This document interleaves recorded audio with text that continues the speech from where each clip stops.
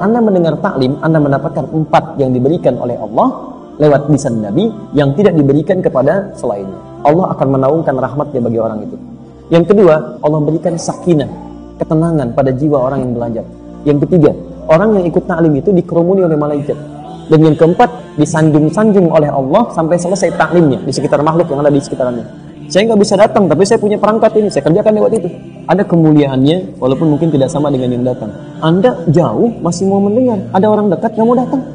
Itu luar biasa. Ada pahalanya, pahala dia dari belajar, ada perubahannya, ada materi dia catat, dia pelajari itu pahala besar sekali, walaupun dia tidak hadir ke tempatnya.